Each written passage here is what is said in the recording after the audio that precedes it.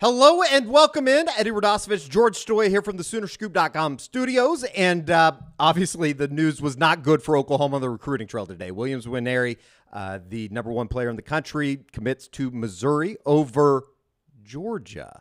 As it was reported by Chad Simmons, he had some quotes up on 3.com. If you were interested in that, I'm sure that the Oklahoma fans, George, are probably not interested in that, though. We did talk to Oklahoma football players today, as well as Brent Venables after Oklahoma's ninth preseason practice. Uh, school starts in Norman next Monday. We'll get to that in a second, though. We do want to uh, go immediately to the emergency hotline, I guess, if you will.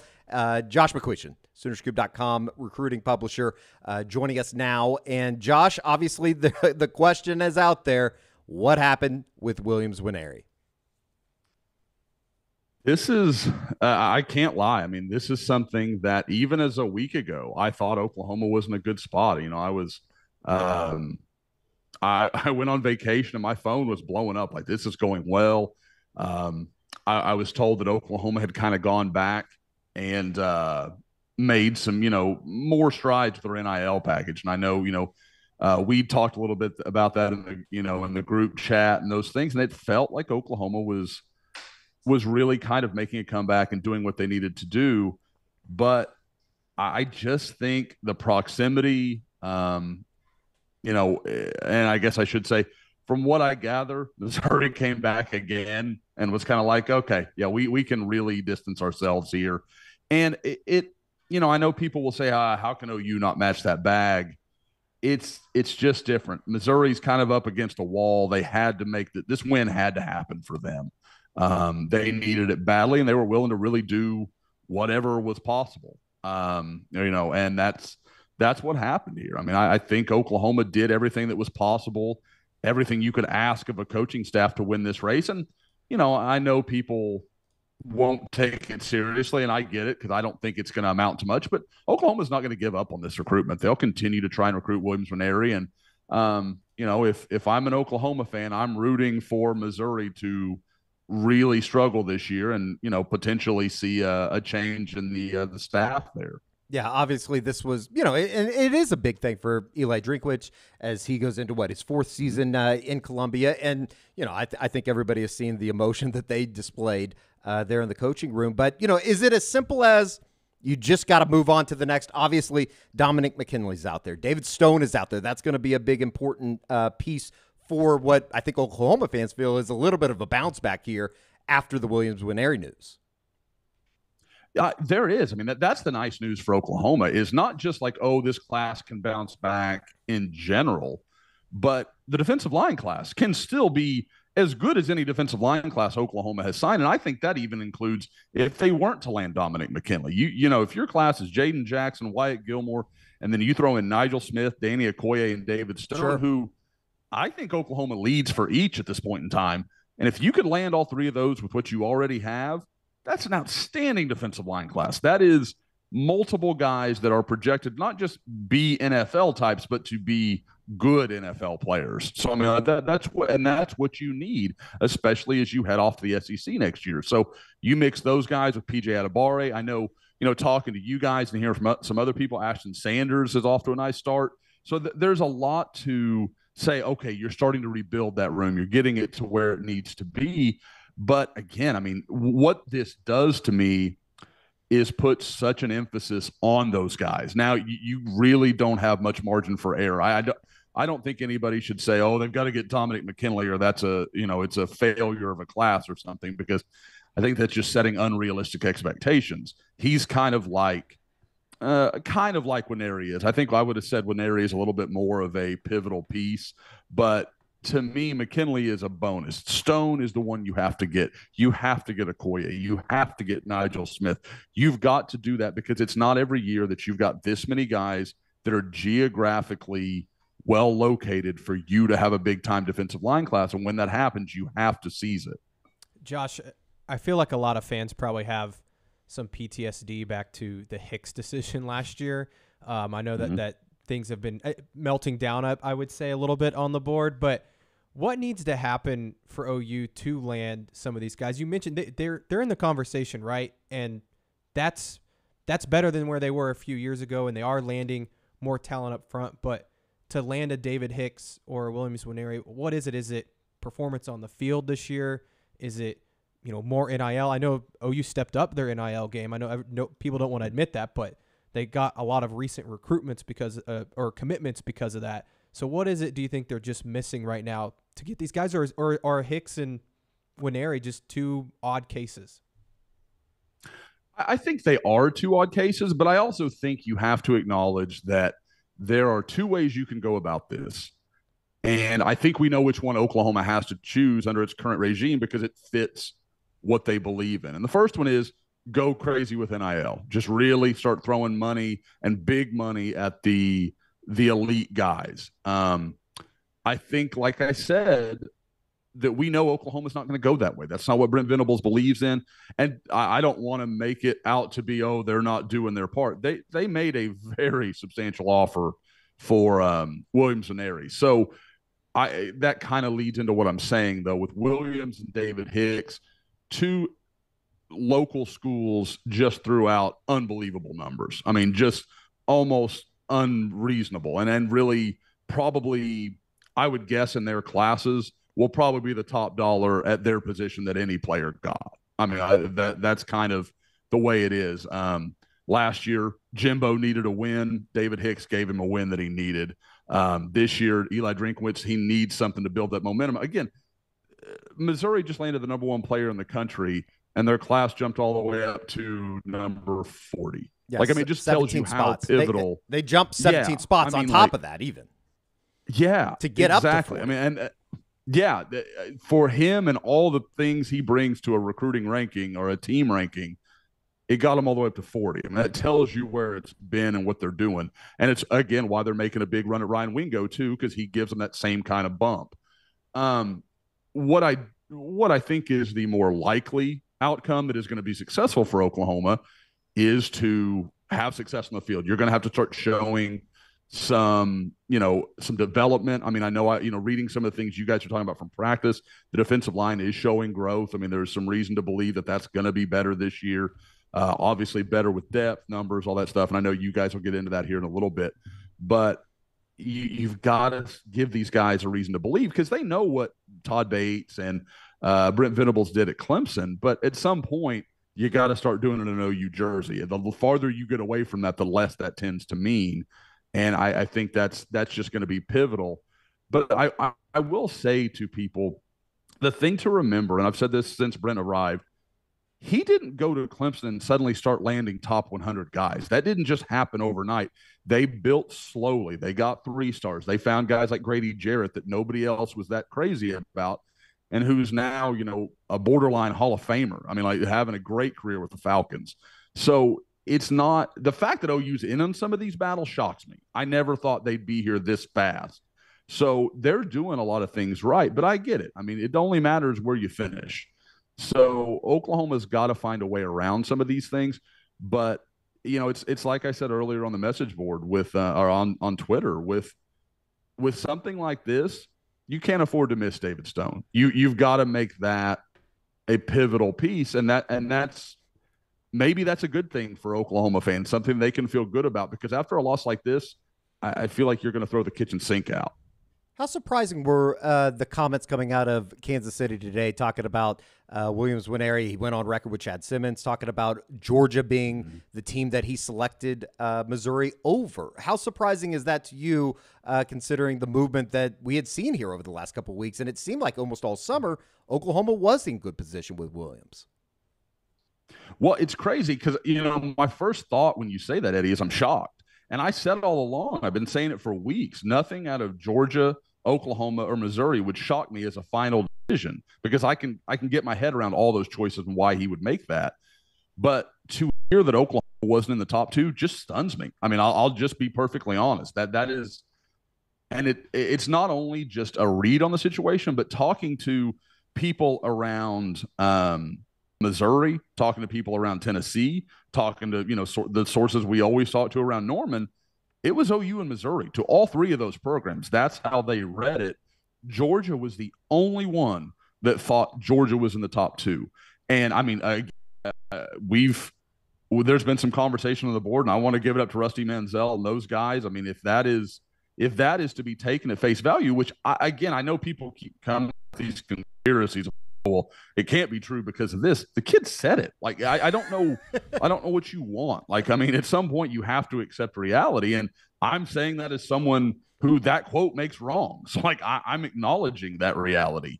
Um, so eh, you know you can spin that however you want to, and I don't feel, you know, he said this because of whatever. I, I keep saying that sounds like know, um, like movie fan fiction. Like people want to believe that OU was in the top two. So what he said doesn't really matter. It was, you know, Eli Drinkwitz is, you know, he's got a puppeteer and told him to tell Georgia, you know, or say Georgia. Coaches aren't Machiavellian like that. They don't have. They're they're doing their own thing. So I, I just I, I struggle with that. But I absolutely was surprised. I similarly was surprised by 24 uh, 7 Steve Wiltfong reporting that uh, you know, they had he had told uh, Missouri like two weeks ago that he was in the boat, and I, you know, it, it's one of those things. Like where there were a lot of different people with a lot of different opinions on how this should go. Is it? It's it's a gut punch. Oklahoma obviously getting the number one player on campus. That's you know everybody's objective. Is it as simple as moving on though? I, they're going to continue recruiting Williams Nwaneri, but you have to start focusing on everybody else, or else you might lose out on a David Stone, or you might drop the ball with a Nigel Smith. Is is it as simple as that for Oklahoma moving forward? Yeah, and, and I think that's one of the things about this staff is you've got a guy with Miguel Chavis. I mean, you guys know him. This isn't going to knock him off his stride for a second. Like he just sure. he doesn't operate like that. He he'll focus on we go go get Danny Okoye, we go get Nigel Smith, we go get David Stone, and we're going to be fine. You know, like that. That's that's one hundred percent how he'll see this, and that's how you have to handle it. That's how successful recruiters do handle it. They're, they're just going to keep moving forward with the guys they need to to reel in. And again, I I wouldn't be shocked at all if Oklahoma takes a look around at some committed guys. Um, I, I mentioned last week the Benedict Umeh kid from. Um, uh, that's committed to Stanford, the Canadian kid.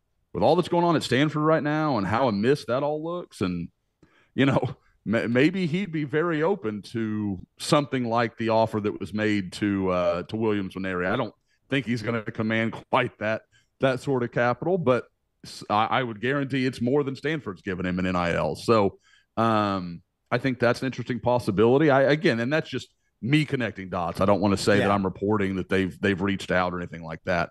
Um, but yeah, you know, you do that, and then again, the experience of guys like Brent Venables, Todd Bates, they've been through these fights. They know what this looks like. They've they've they've seen guys. I mean, go. You know, I, I can remember covering Brent Venables back in the early 2000s with like the Antonio Clay saga, where he switched commitments between Clemson, Georgia, and I can't even remember who the third school was, like four times in the matter of two weeks. Like Brent knows, man, you just do the work. Like you just keep going at it, you keep chasing them. They're going to continue to talk to Williams Nwaneri. That's not going to go away until they, re, you know, until they think that's just a, a dead story. And who's to question them after Peyton Bowen last year? I mean, they fought to the very end and it paid off for them. So I, like I said, I, I think I know people in this moment are not going to want to hear any of this. It's going to be okay. Um, now, if we're doing this pod in 10 days time, 12 days time, and David Stone has picked somewhere else, okay, I might like start letting you uh, sound the alarms. But for now, I don't have any reason to think OU can't have a very, very good defensive line class. Well, and I, I think that that's kind of the resounding theme here is that you look big picture. And I, I know that we want to talk about Jaden Nickens here in a second, who committed over the weekend to mm-hmm. Oklahoma, the 2025 class. I mean, you if you read the interwebs right now, or you read the the message boards, you would think that Oklahoma's coming off of a season in which they did go six and seven and finished with the 50th ranked class in the country. There's still a lot of positive momentum there. And, you know, it's a gut punch. I was about to say obviously. I'm not going to say obviously, but you got to look at a bigger picture here. And, you know, I, I think that that kind of leads into what Oklahoma's doing in 2025 as well as 2024. I mean, it, it's still a solid class. They have to start hitting on the defensive linemen. I don't think that there's any doubt about that. But at the same time, big picture, George, it seems like things are progressing in the right direction for Oklahoma. And if we want to get into J.D. Nickens while we have Josh here, uh, that was obviously a big commitment over the weekend and just a ongoing effort that uh, Emmett Jones has been able to put together with that wide receiver room and what he's done in 2024, kind of rebuilding with a guy who sounds like he's coming on in Andrel Anthony, as well as 2025. Uh, you know, very obviously with Kevin Sperry already in the mix, and then Elijah Thomas and Jaden Nickens now at wide receiver, as well as Grayson Harris. But we're talking about Oklahoma guys. Yeah, guys. I mean, you. Uh, I, I'm going to have to start associating with the 2026 wide receiver class. Like it, uh, Emmett Jones is almost done. Yeah. Like it's just unbelievable what he's put together. And it, I mean, in two, and not like one of these classes was two or three guys. I mean, he's got five in 2024 and he's already got three in 2025 and probably one spot left. And I think we all kind of assume, and I know I've got a prediction in that that's going to be Isaiah Mozee, um, you know, the, the younger teammate of Williams Nwaneri. So I think there is, there's so much credit to be paid. And, guys, the thing I can't get over is with Jaden Nickens. I mean, people, you know, I know he talked about it, and you guys had the video up um, of him talking about, you know, kind of being an Oklahoma fan, and he knew that's what he wanted to do. But people that haven't followed recruiting for a long time, Millwood has been a bloodbath for Oklahoma through the years. I mean, and some of it was their own doing, some of it was, um, you know, just just a tough loss that happens from time to time. But there was, um, there was a time when people would tell you oh, OU's not going to win at Millwood anytime soon. And I I never really agreed with that, but there excuse me, there's a lot of history to support that. And so for Oklahoma to go in there and get him and not just you know, oh, they they got him going into his senior year, they got him when most guys commit. Emmett Jones convinced that kid, hey man, you don't need to waste your time for the next year and a half. Like you know what you're doing.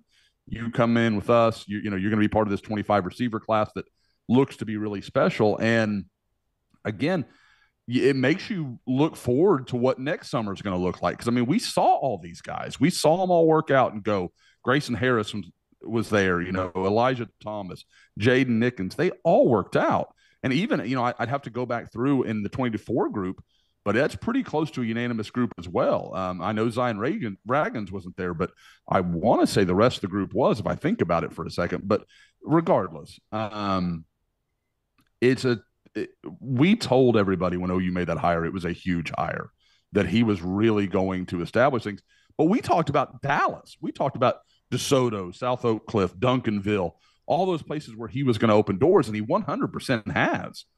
But he's done a much better job beyond that area than I even expected.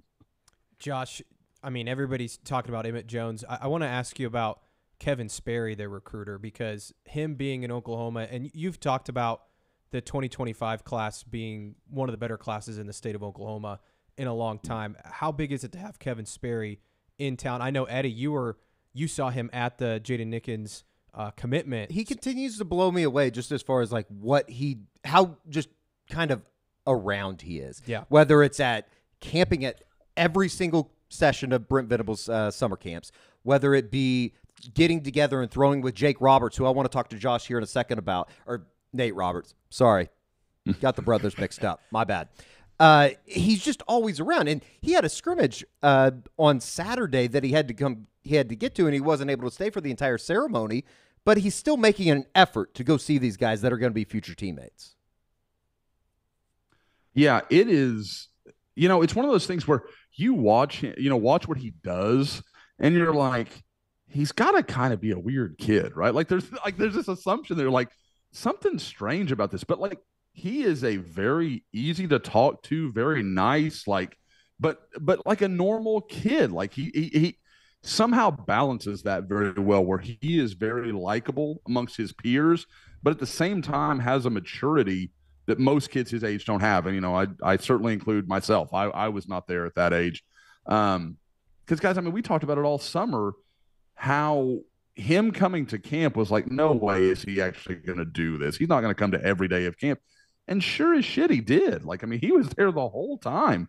And it just, it kind of amazes me the, the little touches, the things he does as a 17 year old kid or 16 year old, you know, whatever it may be, with his age and his ability to know how much that means to Jaden Nickens, how much it means um, to the various guys in his class. Like you know when they had the um, the Sooners uh, Sooners under the sun or whatever. I, I can't ever remember that name correctly. Um, but when he was there and just talking to all those guys and developing relationships, the Dasan Brom kid, the big tight end from Kansas. I mean, like you go down the list, and he is not just talking to these guys; he's developing real, sincere relationships. And you know, it's one of those things where I, I say that. I guess I haven't really thought about it on this level, but when you talk about it, and then you think about the head coach he's going to play for, you're like, he's a perfect fit. Like he just makes all the sense in the world for Oklahoma. And I know talking to some people uh, around Carl Albert, he's just done nothing but impress people. I know it's easy to ride a guy, you know, that's doing all these things like, oh, he's doing it for show, and he's he's just this kid. I mean, this is just who he is. And um, I, I, like I, like you guys said, I couldn't be more impressed with the way he's handled things so far. Josh, we'll get you out of here in a minute, but Eddie mentioned uh, Nate Roberts, the tight end from Washington High School. I know that you put in, I think, a flip prediction to Oklahoma. Um, I think it was a mm-hmm. week ago now. Where do things stand with him right now? Well, so you had talked to, you know, we've talked to some people at Washington, and you know, Ed, Eddie was out there at the spring game with me, and it was pretty clear that as much as Nate clearly liked Oklahoma, we did an interview. People can go back and watch it um, talking to some people around the program and kind of some various sources, it just sounded like um, there were maybe some sore feelings. You know, maybe I don't know if if you know maybe he felt he hadn't been prioritized enough or what it was. You know, it just felt like maybe some other schools were putting more into his recruitment than maybe Oklahoma was at that point. And I, you know, I'm not here to say whether that's a fair assessment or not. I just that's the impression I got. Well, talking to I, I just early last week, I started hearing some whispers like, "Hey, something's happening here. Like something's something's off." And I know some people I've heard, and I, I again, I've been on vacation, so I haven't seen it all. I've kind of seen some summaries. Um, I know there was some talk that uh, Notre Dame had kind of stopped recruiting him, or Notre Dame had told him he was going to be the only tight end, and and um, they had continued to recruit another guy.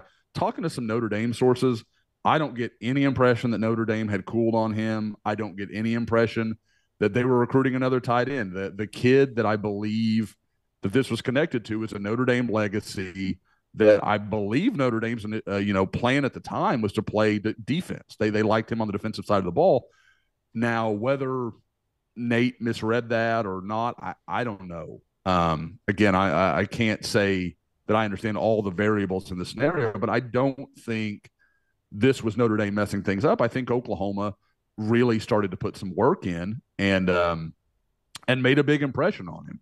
And I I don't know when he might flip, but I have heard a few conversations. I know, um, you know, uh, Mike Singer from our Notre Dame site actually put in a prediction for the kid I'm talking about. Um, I, I, actually, I believe it's the kid I'm talking about, the Notre Dame legacy uh, made a flip prediction, or not a flip prediction, but a commitment prediction for him today. I have heard some whispers, some people that believe that if Nate hasn't informed Notre Dame he is going to decommit, that it should be coming fairly soon. Um, I again, I don't want to say that's a fact, but I, have talked to enough people that it sounds fairly credible. Um, at that point, I don't know if he announces it and he flips at the same time. I don't know if he'll just kind of back away from it and take some visits this fall or what it will be. But my impression is very much his Notre Dame, you know, even as a you know a public presentation of a commitment is probably not long for this world. Well, it's not a good day for Oklahoma recruiting, but it sounds like there there are some positives in there. Uh, I don't know if that's sunshine pumping, but it is a reality. I you know don't stay on the interwebs too long because they'll have you leading led to believe that you know this whole thing is coming to an end rather quickly. That was a good therapy session from Josh. We, I think it was. We appreciate well, Josh coming on here and giving some good therapy talk. It, it's it's just so funny because it like I feel like when the fans are the most negative, I'm like this is gonna be okay, and then sometimes we're like, oh, we're getting everybody. I'm like, calm down. Like I'm always on the wrong side of the fence. Like I'm never where they want me to be. Well, at least you're not dead in the water, you know? All right. Josh, we appreciate it. Uh, we will talk to you again on Wednesday as part of the unofficial 40. I'm sure that we'll dive back into the Williams Nwaneri stuff as well as uh, some of the other stuff that we've talked about today here on the YouTube program. Appreciate it, Josh. All right, guys. Later. Josh McCuistion, recruiting publisher for Soonerscoop.com on 3.com. Well, we let's get into uh, some of the practice stuff. I know that Yep. we kind of teased it up at the top. This is our normal uh, practice review. We were able to go out to practice this morning. Uh, this is Monday morning. It was the third viewing session for the local media. Uh, it was a little bit of a rainy sky today Yep. down in uh, Norman, Oklahoma, but uh, we were able to get through it. I, I would say it was kind of another one of those light practices. I I, We weren't I in don't want to say either. light. I just want to say that we didn't see a whole lot. They worked on some a lot of special team stuff. Uh, we we saw a little bit of individual stuff, but you know, I think one guy that caught everybody's attention that while we were out there, and you can add any thoughts that you want as far as what you saw today. Well, I guess let's go two things. Dalen Smothers is back with the team. Yep. There was a lot of talk about, uh, you know, recapping everything that went through the uh, the scrimmage on Saturday. We'll get into plenty of that here in a moment. But uh, Andrel Anthony sounds like he continues to make a name for himself. George. Yeah, no, he's a guy that sounds like he stood out in the scrimmage. I think had a couple touchdown catches, um, a, a one really long one, I think 40, 50 yards down the field. Uh, a guy that can stretch the field. I asked Brent Venables about him today. I know we'll get to that clip in a second, but um, you know that's one of those things that I I think that he's a guy that you look at. They're replacing Marvin Mims, right? It's going to be really difficult to do that. He's a guy that could stretch the field, uh, but when you can add a guy that has the speed, and we saw it, right? The clip that everybody replays of Andrel Anthony against Michigan State, I think it was at Michigan, taking a slant, you know, 70 yards down the field. He's a guy that can stretch the field. And so if you can have someone like that and, and replace some of that production, I'm not saying he's going to go out there and have a thousand yard season like Marvin Mims, but he is a guy that I think can, uh, you know, stretch the field and, and, and give them some production on the outside. Andrel Anthony had a pair of touchdown receptions in the scrimmage on Saturday. I believe a 47 yarder uh, from Dillon Gabriel, as well as a seven or a 49 yarder, and then a 17 yarder over the middle of the field. Uh, really nice throw by Dillon Gabriel as well. Uh, poor reports. So we did talk to Brent Venables. Here he is talking about the scrimmage, as well as George's question about Andrel Anthony continued uh, impression on the Oklahoma staff. uh, scrimmage uh, Saturday, and it was really competitive, really good work back and forth. Big plays on both sides of the ball, and uh, really pleasing to see. You know, you can be mad at both sides or be happy with both sides. That's a that's a great thing. So, incredibly competitive, all good on good work, and uh, still working at you know developing uh, depth charts and seeing who can play consistently and knows what to do and plays fast and aggressive and uh, developing the team. I like our, our leadership.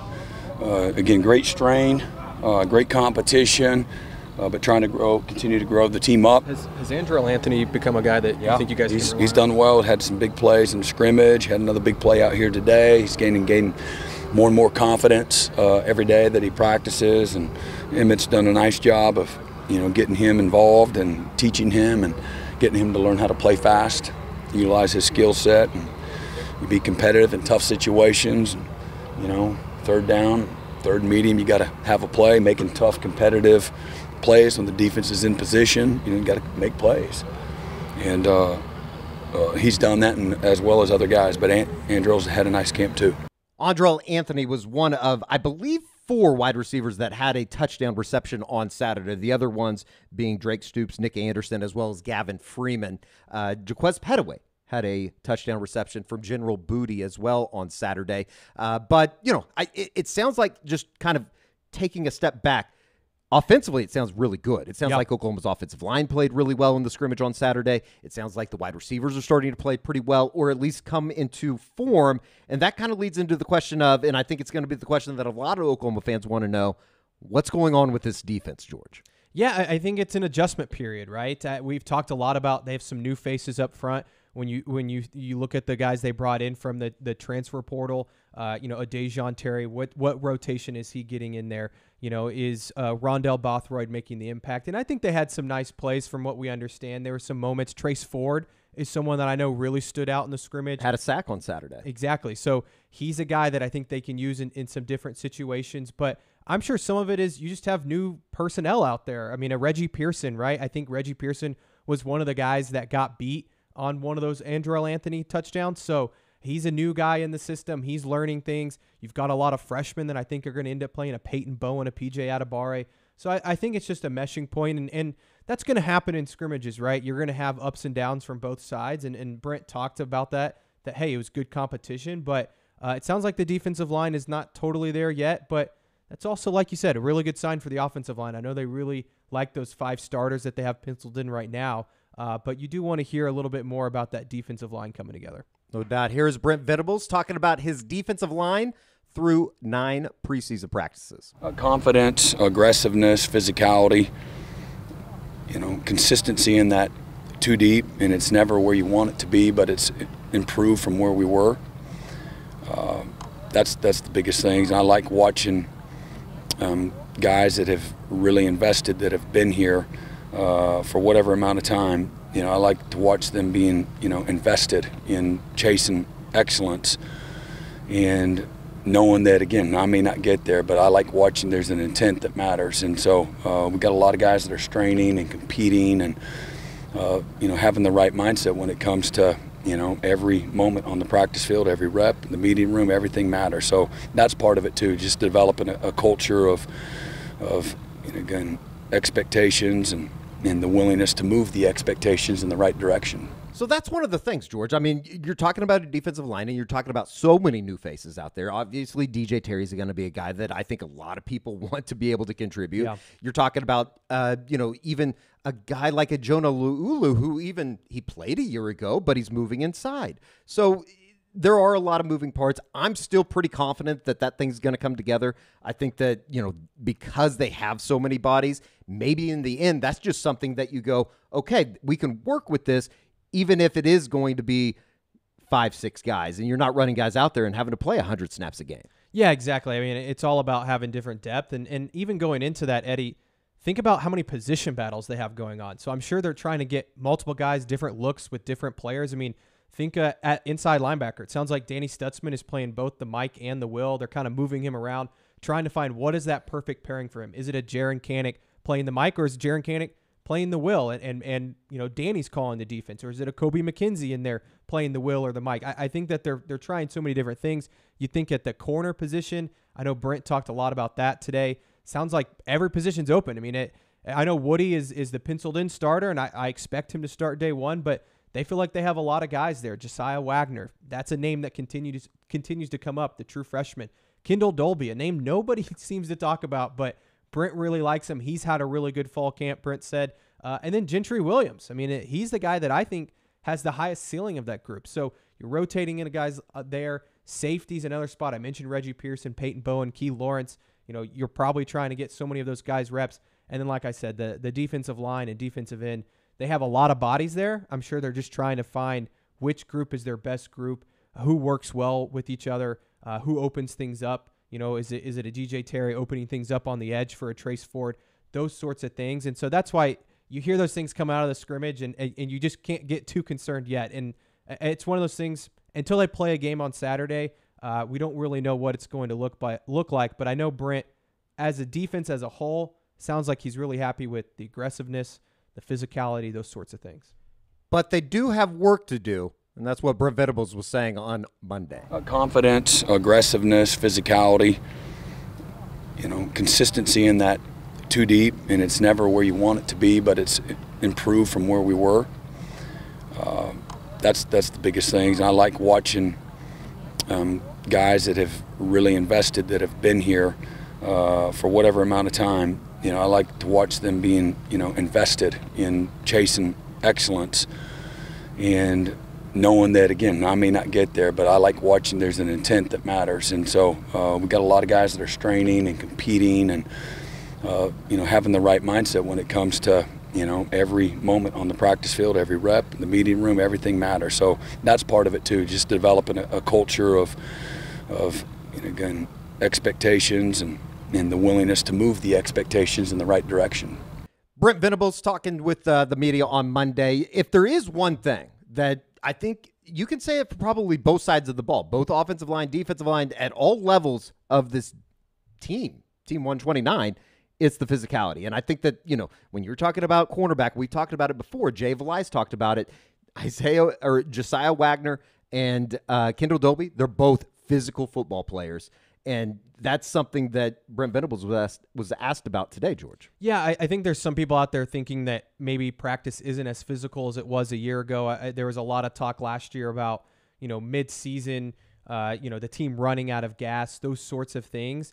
Sounds like they haven't really changed a whole lot. Maybe they're more efficient. I think that's the way that Brent wants to, to wants to phrase it. I'm sure they've changed up what they're doing in individual a little bit. I know last year you guys got to watch a little bit of Oklahoma drill, those sorts of things. We haven't really seen that out there this year. That doesn't mean they're not doing it. Maybe we just don't get to see it. Uh, I know that they're they're tackling in the scrimmages and it, it's it's full go. So I, I, think that that's been an emphasis, and, and Brent talked about that. And uh, again, I, I think it's more about them being more efficient in terms of how they run practice more so than being less physical. Yeah, that was one of the number one things that uh, I think you asked him at local media day was yep. if you look back on year one and you're taking this into year number two, what do you want to change as a whole? And I think efficiency was the number one thing. Yeah, it's efficiency, organization, just knowing what they want to get out of each and each and every individual drill and then team and then situational, those sorts of things. I think that they have a more of a, an emphasis on things that maybe they weren't going into last year as much. Here is Brent Venables talking about physicality at practice when asked by Sooner Scoop's own Carey Murdock today. Brent, there's been kind of some talk about your physicality in camp, and maybe it's scaled back a little. Do you, you look at it that way? Is that a purpose, and kind of what do you hope to get out of that? I don't, I don't see that. I mean, we have the exact same amount of live plays as we had a year ago, um, so I, I see live as you know as maybe that's the barometer that you. But we've had the exact same amount of live plays, um, so I'm not. I don't necessarily see that. We might have less time on the field, but we've had the same amount of plays. And just being more efficient, we're getting the periods quicker, and uh, you know, a little bit more of that. But the physicality's been good, and then you know, again, the physicality as a defense. You know, we had some really good moments, and we had some moments that we fainted. You know, at, at uh, the wrong time from a defensive standpoint.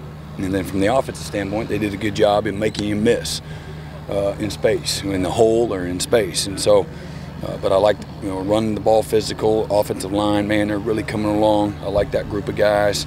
Our backs are running with power uh, and physicality, and we're playing a little more physical, you know, in our front seven. So I think that answers the question about physicality, right? Oh yeah, I mean, look, it if you think Brent Venables is not running a physical practice, I, I don't think you're paying attention, right? I mean, that guy's all about that stuff. I, the clip that the football team put out today from the, the team account was as as, as intense as it gets. So uh, I think that the intensity of practice is just fine. Somewhat erotic too. A little bit erotic, yes. We will be back with uh, Oklahoma coaches and players on Tuesday down in Norman. Supposed to talk to Ted Roof defense coordinator down in Norman. I, it'll be the first time that we've talked to him since Oklahoma's been out on the practice field. That will be after practice number 10. And uh, we're supposed to talk to Andrel Anthony, too, who's yep. going to be kind of an interesting interview just in terms of it seems like he continues to come on at that wide receiver position. So thank you to Josh McCuistion for joining us earlier, talking about Williams Nwaneri. Obviously, not good news for Oklahoma. I know I said it. Don't say anything. Don't tell my parents. Don't ground me or anything. Then I wouldn't be able to make it to Norman. You know what I mean? For George Stoia, Eddie Radosevich from the Soonerscoop.com studios. Make sure you're visiting Soonerscoopstore.com for all the apparel uh, that you can see, but see behind us here, as well as hitting up the promo Sooners Sooner 25. For until next time, whatever. We'll see you later.